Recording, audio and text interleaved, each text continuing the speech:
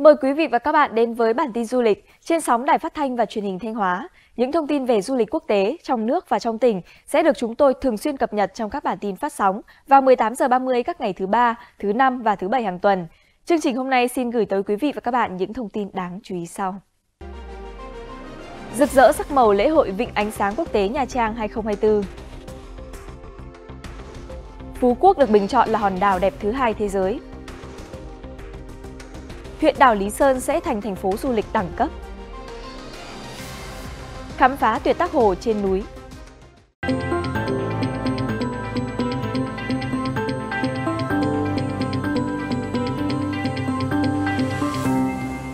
Thưa quý vị và các bạn, tại quảng trường mùng 2 tháng 4, thành phố Nha Trang, Khánh Hòa đã diễn ra lễ khai mạc lễ hội Vịnh Ánh sáng Quốc tế Nha Trang 2024. Đây là cuộc thi trình diễn ánh sáng bằng thiết bị bay không người lái lần đầu tiên trên thế giới. Lễ hội Vịnh Ánh sáng Quốc tế Nha Trang 2024 là cuộc trình diễn thi đấu online lần đầu tiên được tổ chức tại thành phố Nha Trang với chủ đề Ngân hà rực rỡ. Thông qua lễ hội, Khánh Hòa hướng đến mục tiêu xây dựng thương hiệu lễ hội riêng luôn rực rỡ, tạo lực hấp dẫn, kết nối mở rộng giao thương trong nước và quốc tế, góp phần thúc đẩy hợp tác phát triển kinh tế xã hội của tỉnh – Lễ hội sẽ góp phần thúc đẩy du lịch, kinh tế và văn hóa của tỉnh Khánh Hòa ngày càng phát triển, sớm đạt mục tiêu đón và phục vụ 9 triệu lượt khách như kế hoạch mà tỉnh đã đặt ra. Lễ hội Vịnh Ánh Sáng Quốc tế Nha Trang 2024 diễn ra trong hai đêm 13 tháng 7 và 20 tháng 7, có sự tham gia của 4 đội thi đến từ các quốc gia Hàn Quốc, Pháp, Trung Quốc, các tiểu vương quốc Ả Rập Thống Nhất – Mỗi đội trình diễn tối thiểu 1.000 drone, kết hợp biểu diễn âm nhạc hiện đại trên sân khấu, tạo thành một bức tranh tổng thể sống động được kể chuyện qua ngôn ngữ ánh sáng nghệ thuật, phục vụ người dân và du khách. Đêm trình diễn thi đấu đầu tiên là phần dự thi giữa đội Hàn Quốc và Trung Quốc với chủ đề Nha Trang bừng sáng, Glamour Nha Trang, được tổ chức tại quảng trường 2 tháng 4. Đêm trình diễn thi đấu thứ hai giữa đội Pháp và UAE với chủ đề Kỳ quan tụ hội Night of the Wonders và lễ bế mạc được tổ chức tại Vinpearl Harbor, đảo Hòn Tre giữa Vịnh Nha Trang vào tối ngày 20 tháng 7. Tạp chí du lịch Mỹ Travel and Leisure vừa công bố danh sách 25 đảo và quần đảo đẹp nhất thế giới năm 2024. Danh sách này dựa trên khảo sát từ hơn 186.000 độc giả của Travel and Leisure. Phú Quốc là đại diện duy nhất của Việt Nam nằm trong danh sách, xếp thứ hai với tổng điểm 94,41 trên 100. Tạp chí này nhận xét, top 3 hòn đảo gồm hai địa điểm đã quá nổi tiếng là Maldives số 1 và Bali số 3. Nhưng lọt vào vị trí số 2 là hòn đảo Phú Quốc ít được biết đến của Việt Nam, nằm ngoài khơi bờ biển phía tây nước này. Đây là một điểm đến du lịch mới nổi và đó là thế mạnh lớn nhất ở nơi này. Trong khi một số bãi biển ở Đông Nam Á đang được phát triển, Phú Quốc vẫn giữ được sự yên tĩnh giản dị. Nhưng điều đó không có nghĩa là bạn không thể ở trong những chỗ nghỉ sang trọng. Một trong số đó là khách sạn sang trọng Regan Phú Quốc, nơi có hồ bơi vô cực trên tầng thượng và các phòng suốt có hồ bơi riêng. Phú Quốc nằm ở phía nam của Việt Nam, trên vịnh Thái Lan thuộc tỉnh Kiên Giang. Đây là thành phố biển đảo đầu tiên, cũng là điểm du lịch duy nhất ở Việt Nam được áp dụng chính sách miễn thị thực cho khách nước ngoài nhập cảnh và lưu trú trong 30 ngày. Bên cạnh đó, Phú Quốc sở hữu sân bay quốc tế, kết nối nhiều thành phố ở nước ngoài nên thu hút đông khách du lịch nước ngoài. Tỉnh Quảng Ngãi công bố công khai đồ án quy hoạch phân khu xây dựng đô thị Lý Sơn thành một thành phố du lịch quốc tế theo tiêu chí xanh, sạch, đẳng cấp, có sân bay, bến tàu khách quốc tế.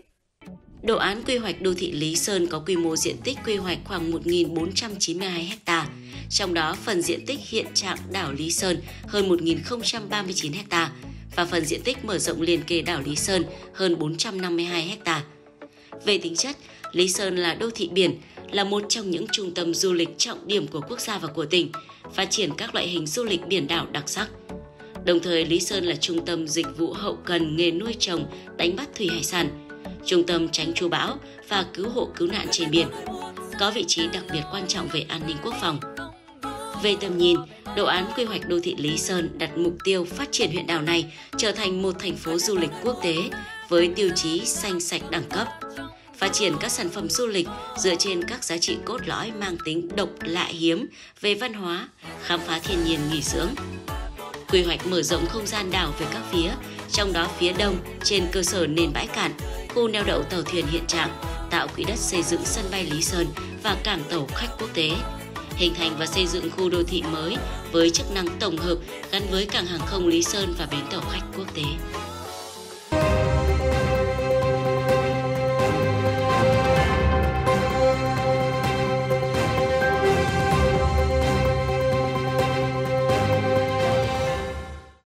Thưa quý vị và các bạn, nếu là người ưa du lịch khám phá thiên nhiên, chắc chắn du khách không thể bỏ qua vườn quốc gia Bến En.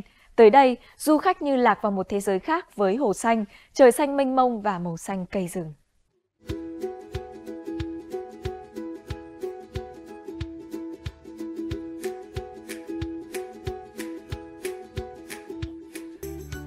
Hồ sông Mực nằm ở phía tây nam Thanh Hóa, giáp danh hai huyện Như Thanh và Như Xuân. Sở dĩ có tên gọi này vì đập Bến Mẩy đắp ngăn sông Mực vào năm 1977 để nước dâng thành hồ thủy lợi. Hồ sông Mực phục vụ nước tưới cho gần 1.000 hecta đất nông nghiệp. Hiện nay hồ sông Mực thuộc vườn quốc gia Bến En. Với sự bảo tồn và khai thác hợp lý, nơi đây đã hình thành nên một vùng sinh thái đa dạng, in đậm nét nguyên sơ trong trèo của thiên nhiên ban tặng, cùng với bàn tay gìn giữ kiến tạo từ con người. Vườn quốc gia Bến En được chia thành các phân khu. Phân khu bảo vệ nghiêm ngặt có diện tích 6.273,5 ha thuộc 9 tiểu khu. Phân khu phục hồi sinh thái có diện tích 6.346,37 ha thuộc 11 tiểu khu.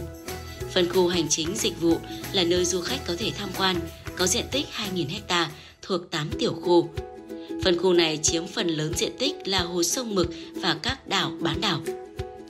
Hồ sông Mực có dung tích 174 triệu mét khối và mặt thoáng rộng đến 3.000 hecta. Trên hồ có hơn 20 hòn đảo lớn nhỏ. Tựa như những viên ngọc giữa trời mây, kết hợp với vườn quốc gia này tạo nên một cảnh quan thiên nhiên tuyệt đẹp. Vì nằm trong rừng quốc gia nên quanh năm thời tiết rất mát mẻ, mặt hồ rộng lớn giúp nhiệt độ luôn duy trì ở mức dễ chịu. Mang tên là hồ sông Mực, nhưng nước hồ lúc nào cũng trong veo và êm dịu – Đi thuyền trên hồ, du khách sẽ được hít thở bầu không khí mát mẻ, trong lành, tắm nắng thư giãn, ngắm cảnh quan thiên nhiên tuyệt mỹ hai bên bờ và thả hồn mình trôi theo bức tranh núi rừng thơ mộng. Ngoài ra, du khách cũng có thể tham gia đánh bắt cá cùng người dân bản địa.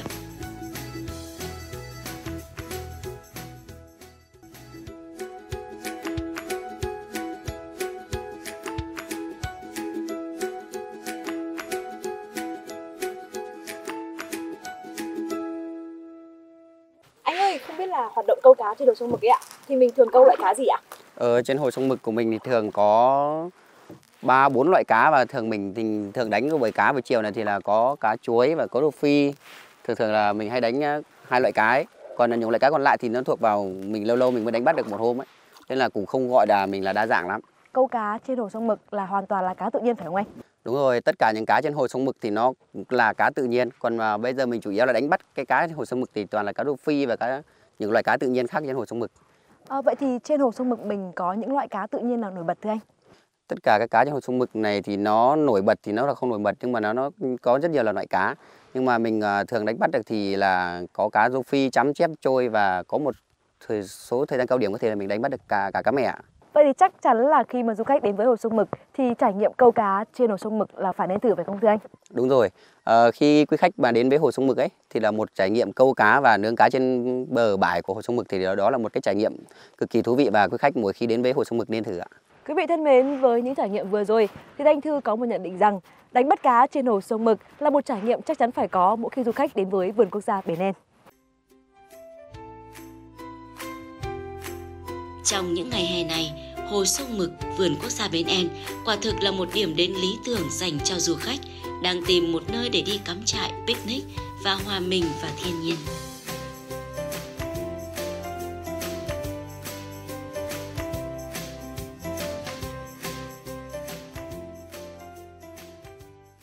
Thưa quý vị và các bạn, Bến En hiện được xây dựng thành nơi du lịch sinh thái, nghỉ dưỡng cao cấp với những thế mạnh và tiềm năng du lịch vốn có về hồ nước, đảo, rừng, sông suối, hàng động.